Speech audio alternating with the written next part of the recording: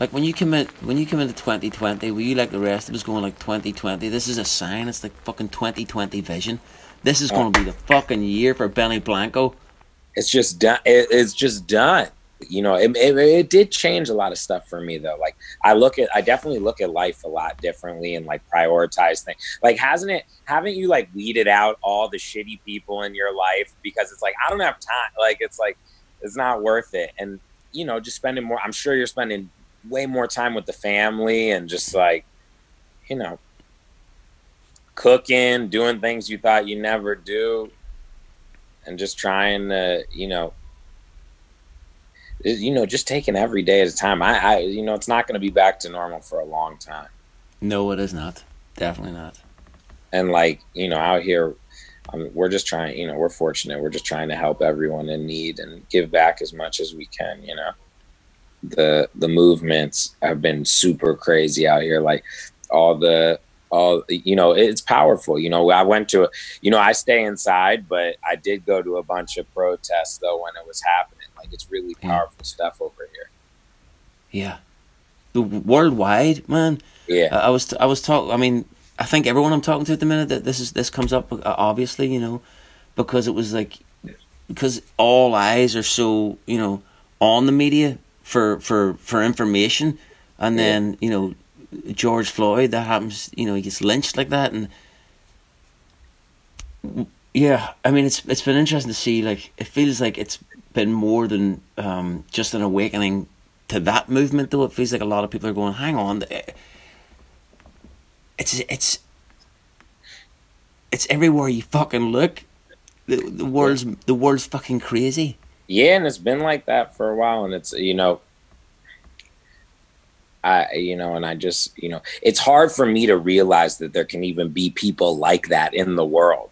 Like you know, I, I you know, I don't know. It's just such a that someone could hate someone just because of you know the color of their skin, the oh, you know their sexual orientation, however they whatever it might be. Whatever that's the thing. Whatever. I know. That's weird. It's weird to me. We have voices to be heard. We have ears that need to listen. We need to be educated. We need to uh, help as much as we can, and we need to. In America, we need to get this fucking guy out of office. So that's oh the end. That's the end of my little speech. Now we can get to the fun stuff. Thank fuck for music and food. If the world was ending by whatever that big thing in Yellowstone actually goes off and takes us all out like the dinosaurs, uh, but we know what's going to happen. What do you sit down to, and what kind of meal?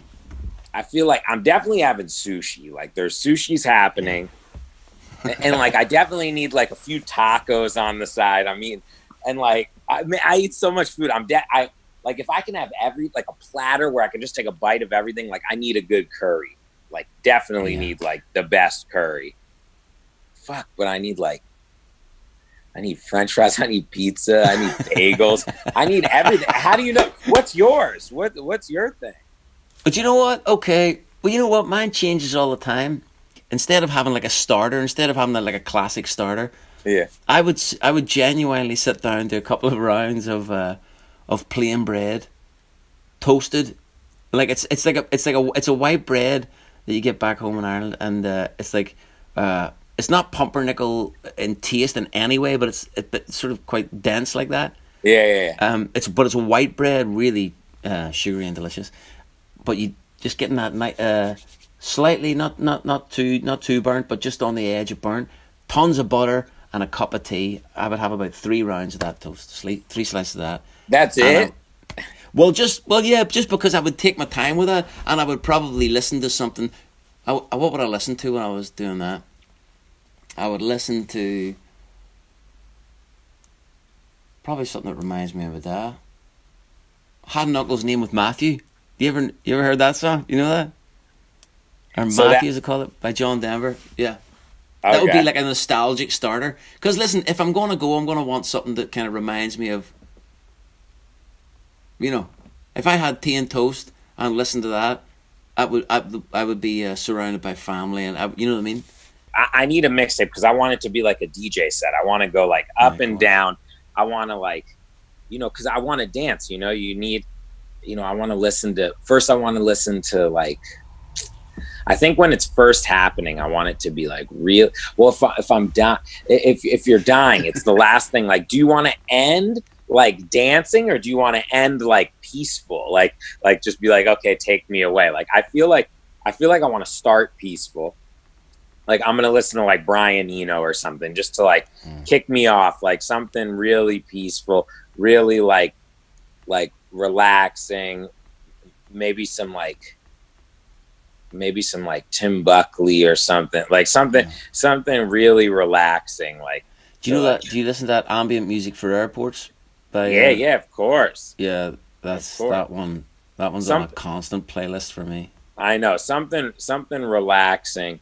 Then like I would go into like if I'm going hyped, like I want to listen to like the whole like Philly soul era. I want to listen to like Eddie Kendricks. I want to listen to uh, to Temptations. Then I want to listen to Marvin Gaye. Then I want to like I want to dance. I want to have like I want to go into the disco era. I want to listen to like Chic. I want to listen, and then uh I definitely want to go into like some of like the old like Dr. Dre when he was making like the mixes where he was like mixing like he was mixing like George Clinton with like whatever like hip hop stuff was out at the time.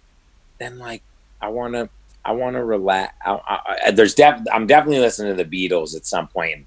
Prince Yeah. is on for at least an hour and a half. Like Jeez, I you, you, you've got it. You've got it licked. I've always been picking like three songs usually. I think I picked one album last week, but this is uh, Really? Yeah, I want. was- I want to die with you, Benny. what was your what was your one album last week? Billy Connolly bites your bum. It's a comedy. It's Billy Connolly just talking. Uh, Really? Do you have certain milestones, like just songs you listen to with people, like your kids, your mom? Like, do you, you do you have those in your head, like right there? Like, I know the song. Like thinking about my mom, like there's like a bunch of songs we always used to listen to, like like like we would listen to together, like, and they stick in your head so much. So like anytime I hear like um uh Bonnie Raitt, like if I can make you love me, like that one we always listen to. Me and my mom always listen to like always listen to "Sexy Motherfucker" by Prince, like back in the day, and like my mom was always listening to like to like you know the whole controversy album. Like I'm trying to think, and then like so is that where it came from, Benny? Like at an early age, was that your mom Was she like My the- mom and my like, dad. feeding you all this? They were really into fucking music. Like it's like it's like we we listened like like as a kid it was like I didn't we didn't listen it wasn't like the radio like that. Like when you got in the car we were listening to like good shit. Like it was like Beatles early on, Stones early on, like you know Van Morrison early on, like all the Philly soul, like all the Motown shit, all like all you know my mom was really my mom was really into like singer songwriters too so it's like tons of joni mitchell tons of like like you know my parents are older so my parents are from the you know it's from the 60s so it's like you know my and, and and my dad way earlier you know my dad my dad was born in 1945 so it's like that like yeah so so they were like they they you know everything you know sometimes i'd get into like my dad's car and it would be like one day it'd be like yo yo man. The next day it would be like uh like gregorian chants. And then he'd be playing like Love some like some like afro beat. Like it's just like my parents loved music and they always had like you know my mom there was always a party. There was always playing mu- music was always on at the house. It was it was very like we weren't like a family where there everyone was listening to music my brother like everyone was so into music growing up was your was your my family was very into listening to music but no one did music in my whole family what about you Uh, yeah, music was a big thing in our house too. But um, yeah, the, yeah, we listened and played. My dad played. Uh, yeah, he played mostly actually. The other boys, I think, played in various you know bands, school bands or whatever, but never really took to. But dad played all the time. My granny sang, and and uh, so cool yeah, anytime there was gatherings, there'd be a lot, you know, be a lot of singing around the house, and I'd I'd get up and do my bit as well, you know. we Uh, never had that we never had that Yeah, but my, my eldest brother, he was an avid record collector coming up, and he, you know, so he had ev- like anything that was in the charts or and some stuff outside, but just like a real, uh, just whatever was happening at the time, he had that. And then the next brother to him, Colin, he was into like the Jam and the Who, and and also had these old eight track, uh, eight tracks of like trucker Yeah, yeah. music and stuff, um, country music and western music and um. And then the next brother to him, Paul, he was into punk and the Damned, you know, the Sex Pistols, and Yeah. uh, so, but it all kind of all sounded like music to me, you know, the whole, the whole, the whole mash of it. Oh, Which yeah. clearly it did to you too. Like, when did you, when did you kind of, when do you think you kind of, you know, heard all this, all this kind of musical influence, and, and thought, hang on, I can, I can fuse I- this shit. I can, I, can do this. I remember I was so so when I was growing up, um, tapes were like a big thing, like singles. Like so when I was about four or five, my brother was very into music, and there was like a tape store down, you know, because there wasn't CDs yet. So there was like a tape store where you could go down and you could buy singles. And I'd go with because he loved music. He was so into. He was he was really at that point he was into like re, like grunge and rap. Like he, Right. those were his two things in the in the early '90s. So I would go with him, and we would go, and I would sit there and I'd hold all the tapes, and they had a thing where you could where you could ch- uh, test the tape. Like you put your headphones on and you test it, and I and I loved it. And I remember just I, I always wanted to go. Like every day, I was like, "Can we go? Can we go?" And then I got to the point, you know, where I, you know, probably when I was like, you know how no matter what age, no matter who you are in the world, you always have somehow if you walk into a house there's some sort of toy keyboard like someone has some sort of you have either that casio one i don't know how you get it everyone has one of those like some shitty little thing Bontempi, yeah. yeah, I had this really small little keyboard. It was teeny. And it was like I think it was like a calculator too. I don't even know. But I had but I had it and I was obsessed with it. And then like my parents got me this other one at like a garage sale and and I had the and finally when I was like 8 or something, I got like this keyboard that had like it was like a terrible Yamaha, like a like like probably like you know 50 bucks, 100 but it had like a small sequencer on it. And I started like sequencing and I was like by the time I was like 8, I was like really into it and then I won this contest when I was like 9 to record a song like in a studio. And and like I got to do When that. you were nine. Yeah, and then my mom got me lessons. I was I was I was really into music, but I would switch instruments every week. Like every week, I would I'd be like, I want to play guitar. Then I'd be like, No, I want to play bass. No, I want to play drums. And like my my guitar teacher, he was he was so cool, and he like he uh, he had like a DAT machine, and we would uh, he would record me to DAT, like and just like he would like rather than we were learning songs but I like didn't want to learn them. I just wanted to make my own songs up. And like my family didn't understand it because they were like, "Well, why can't you play like this song that you were supposed to learn?" And I'd be like, "Ah, I didn't want. to I want to make my own song." And like, you know, this was I also I was like really into like Rage Against the Machine, so I would like I like found like I got like a uh, uh, uh, a guitar amp from like my friends. So everything was like bad hand me downs, and I would like I had like a karaoke mic, and I like shoved it in, and I would like rap over like a over like and put like the distortion on like the bass amp and.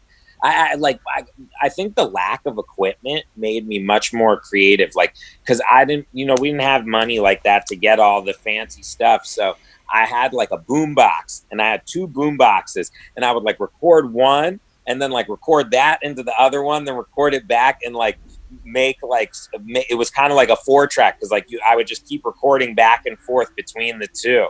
I had like this little sony like my dad had like one of those things that you take to the beach like the little sony walkman things like it was like they had a speaker on it and then my brother he had a boombox he bought a boombox that you could record like so i was started making mixtapes and i don't know i just like got really into it when i was early like like seven eight like i was so into it all my life I like wonder where that came from.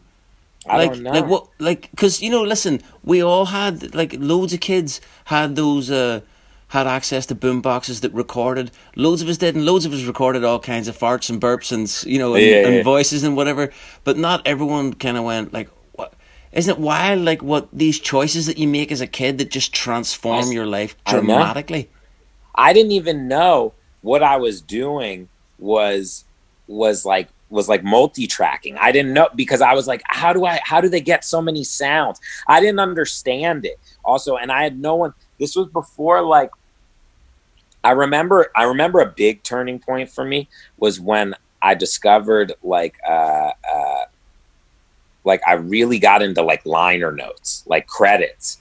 Like Mm. and I I figured out like oh my god these there's songwriters and there's and there's uh like this person played the drums this person played like because I when you're a kid you think the artist does every single thing I used to think the artist was at the radio station performing I didn't understand so when I figured that out, and then I would play like games where I would like try to guess like who the producer was, like based on their Wow. sound and like who this was, and I would like got really into it.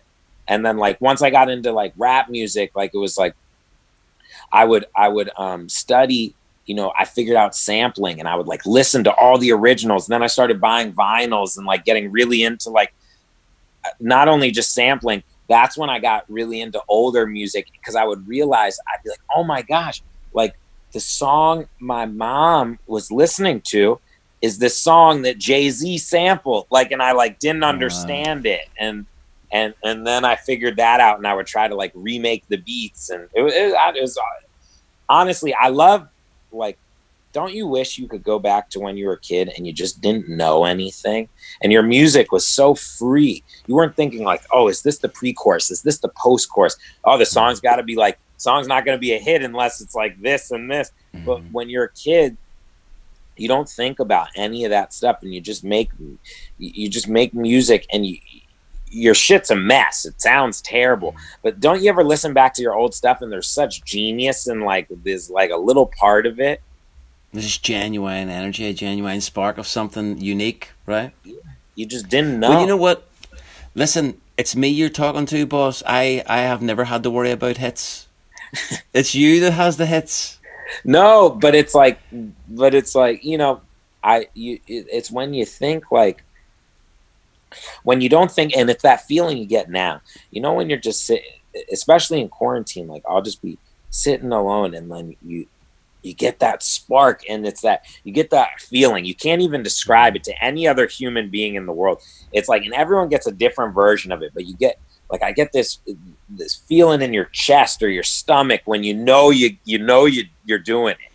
You know it's all coming together.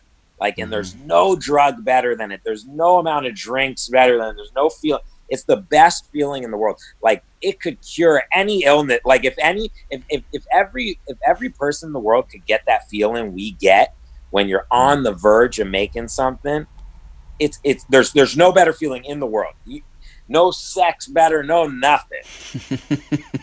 there, uh, there just isn't. There's nothing better than having that feeling when it's all starting to click.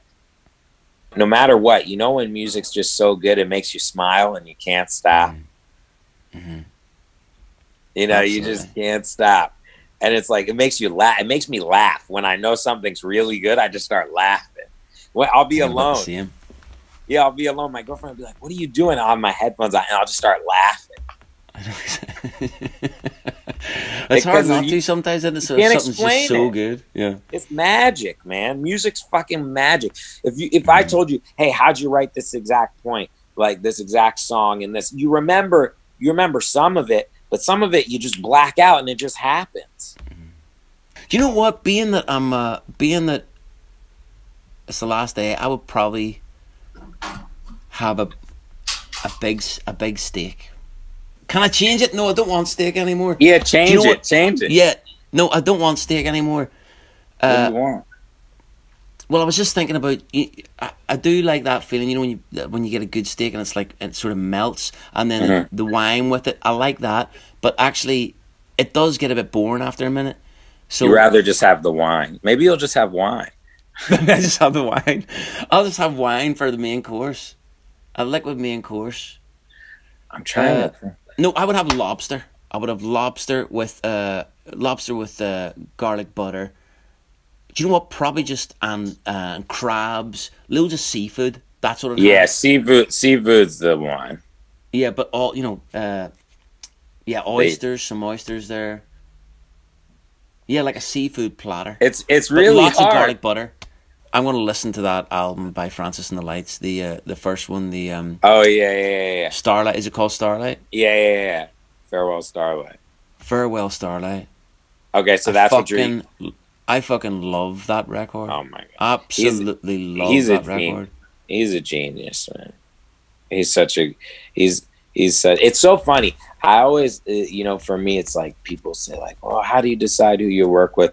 How do you do?" And I tell them it's all just the music. You know, it's like I'll work with friends, and friends didn't even have a record deal. We did that independently, and then at the same time, you know, the next week I'm working with the Weeknd, and it's like Mm. it's it, it's it's all about the music. And then, you know, I love when all the people when I'm working on all the stuff together, they all kind of just bleed into each other. And then Francis was working with the Weeknd, and then you know Ed works with the Weeknd, and I work with Ed, and it's just like it's so cool, like when when when when worlds can collide in music. hmm We kind of write at such different paces in such different ways. I mean, that that's what I've always loved about you. You seem to be this ball of just constant energy. That's you know, you were always there was always something happening. There was always new artists coming by. There was always a there was always a new kind of tributary going out from your studio. You know, you it just Yeah. seemed like to be constantly moved. Francis was was in with you for a while, Yeah, yeah. making records, and just all this wild dope shit is happening all around you. My writing process is usually just kind of me really on my own going.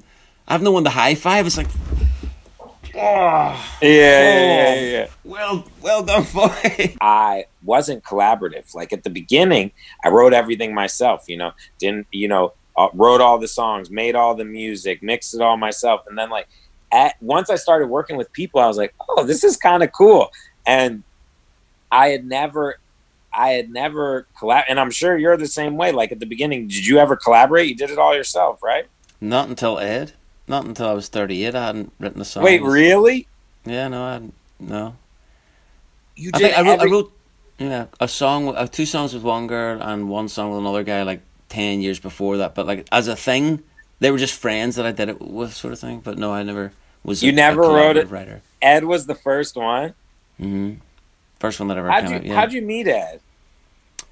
Uh, well, he he would have come to my show. He, I think he saw me at a show. I can't remember what show, show he saw me at. Oh, it was Y Festival. Uh, I was uh, there down there in Nizlopi were there, and I think he was working with Nizlopi. Do you remember Nizlopi? The great band. Uh, Mm. Great, yeah. Anyway, uh, they were there, and then he came to a load of my gigs. Basically, long story short, he came to a load of my gigs, and then so when he then got uh, the deal in that and was reaching out to people to co-write. He reached out to me about co-writing, and uh, actually, I had said I didn't say no.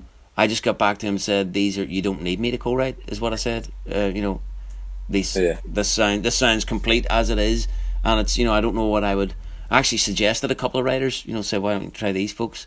But, Uh, and it wasn't it wasn't me going this is shit. I was very clear about that. Going this is great. You, I just don't know what to do with it. I'm not. Um, you know, I'm not your Huckleberry. Um, and then that so that sort of went away for a while, and then I can't remember. Did I go to? I, I went, went and met him in Belfast, and then we we talked, and he invited me on a tour, and I was like, you know, thirty eight year old fucking man with a with a kid running around singing songs about heartache and what whatnot. Yeah. Uh, I, going on a pop tour. I was like, fuck it, why not? I'll never I'll never do this again. I'll never get an opportunity to go on like this, you know, this kind of tour again. It'll be the best of crack. Uh, but I really was uh, yeah, I wasn't prepared for quite what it was to me. He was he was a he was a revelation. You know, it was really uh, I learned a lot on that tour, and you know, uh, a lot more than I expected to, and loved the collaborative process. Loved loved trying to inhabit somebody else's vernacular for a minute. You know, getting out of my own head, my own shit, trying to think, okay, what, okay, I would say it like this, but shit, this is how you're naturally going at it. So trying to kind of go with them on that journey. You know what I mean? Like try and help them articulate it the way they're seeing it as well as the way you're seeing it. Quite enjoyed Yeah. that. Yeah. I remember the first time he ever played me your music. I was in? I was in New York and he said this guy I think you didn't have a deal at the time or you had like some small deal like it was like he he played it he played it for me the same the same day he played me thinking out loud and he said i don't know if i'm going to put this on my album. He said uh, he was like uh, i have a video of us of us the day he played it or, when he was playing me his thing. And he was like he played that and we like i was like you got to put that on your album.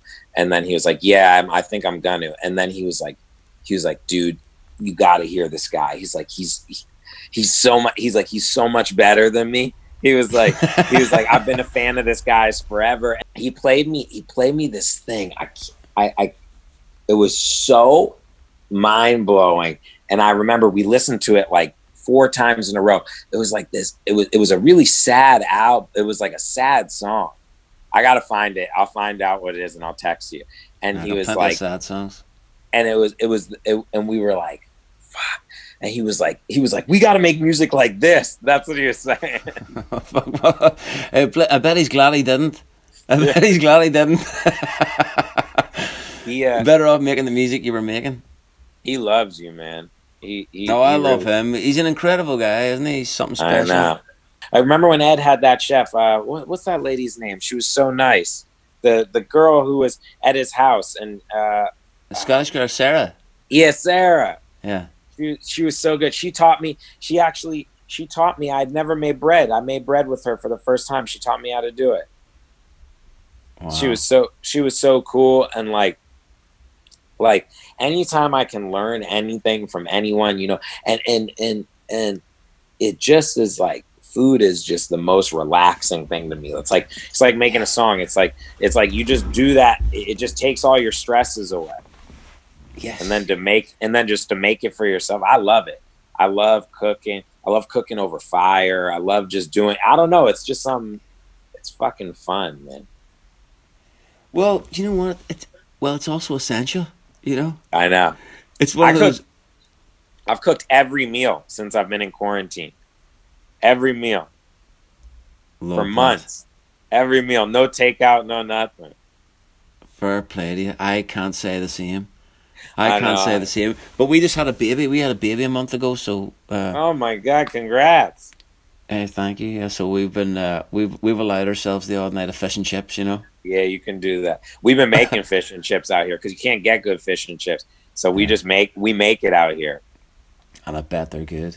Oh my god, we make we make it good. I love I love. I, it's so funny. They just can't get it right here. Fish and chips. There's bound to Yeah. be somewhere like there's Well, bound to 'cause be they don't do somebody the chip- somewhere, right? They don't do the chips the right way either.